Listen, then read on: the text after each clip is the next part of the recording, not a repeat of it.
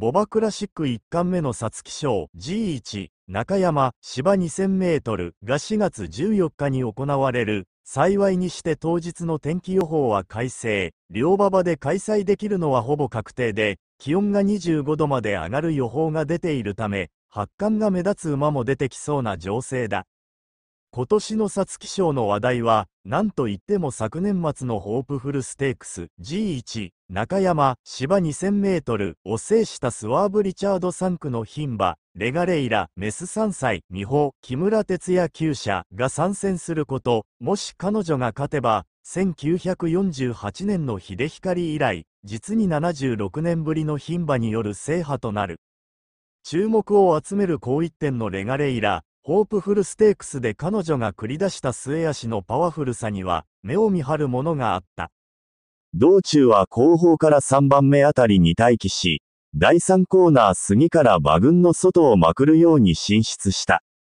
直線では先行集団がばらけるまでじっくりと待ち、坂下でゴーサインを受けると大外から鬼足を爆発させて、粘る新エンペラー、オス3歳、立東、矢作義人厩舎、ら10頭ほどを一気に差し切った。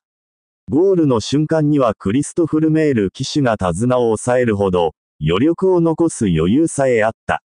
上がり3ハロンは出走馬中トップの35秒0。2位より0秒4早い。走破タイムが2分0秒にはタフな馬場コンディションを考えれば上々の時計だろ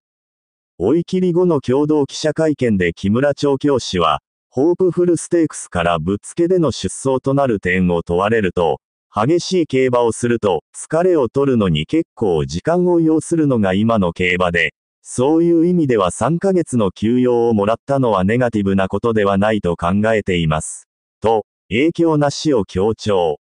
心強いコメントを残す。さらに、牝馬として76年ぶりの勝利に挑む心境については、素晴らしい馬が集まって、どの関係者もエネルギーをつぎ込んでくるので、この時点で家庭で物を言うのは周りの皆さんに対して失礼かなと思っているので、なかなかコメントしづらいところではあります。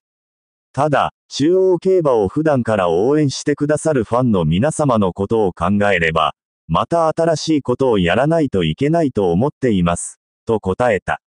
ここで言う、新しいこと、とは、もちろん表彰台の頂点に立つことを指しているのだろ